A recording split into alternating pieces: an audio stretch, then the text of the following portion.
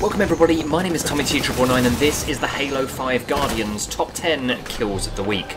Starting with the honourable mention of the weeks, we have Lord Sidious, and he's ghosting around, trying to make as many of the blue team feel like they've been run over and hit by a bus. Well, a ghost even. But when they do try and take it, he's the first to let them have it, because they just fall off the edge and die. We've also then got Demetris16, who has this one shot against the Phaeton. And yeah, that is no more.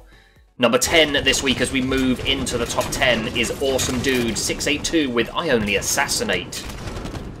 Yeah, unfortunately for the Reds team, he has one thing on his mind and one thing only, and it's all about basically assassinating anybody that is close to him. Unfortunately gets taken down at the end, but gets in three good kills. At number 9, this is Kuchulain 23 with, wait for it, that's two quick sniper headshots. There is a third. Triple kill is up. And then we wait. He bides his time.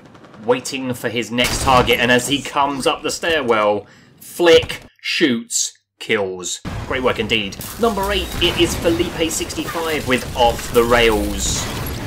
Red team storming the armory. Unfortunately for the first two that came through, they have been destroyed. Number 3 tried to come with a ghost. Again, destroyed.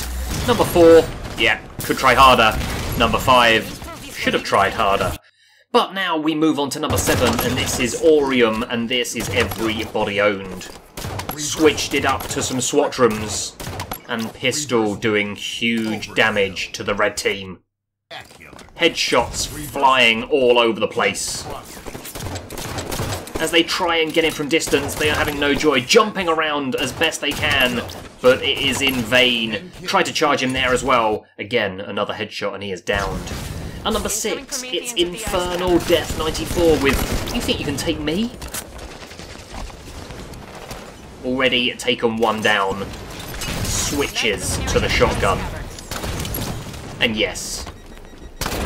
Try to rush him. Number three falls. Number four yeah, gets assassinated. And as this guy tries to rush in, the quick turn on, and the shotgun does the damage again.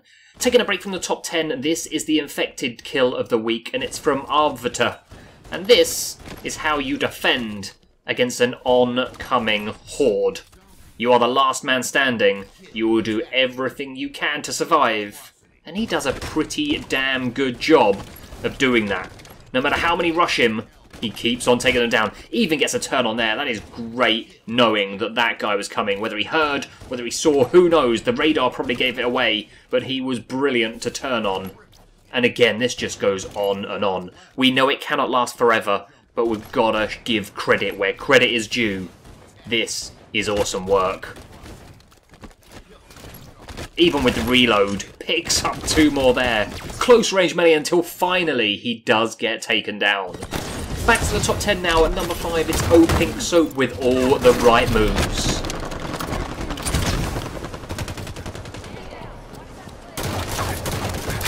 Great melee there. A couple of shots did a bit of damage, but the final butt of the gun gets a second one there as well.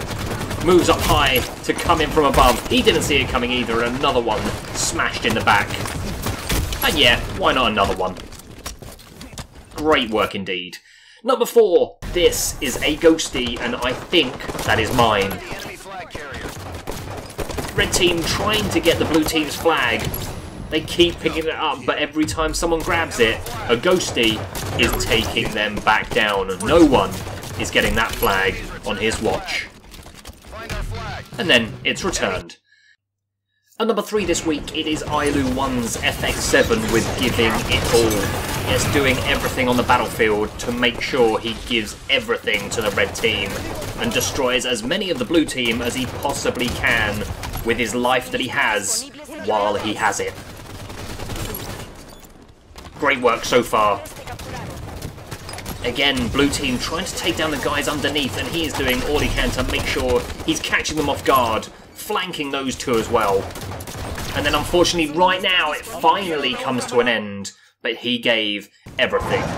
At number two, it's Chief Crispy Nips with Throw Whatever You Want at Me. First enemy thinks he'll just come across on his own. Unfortunately, he gets sniped out of there.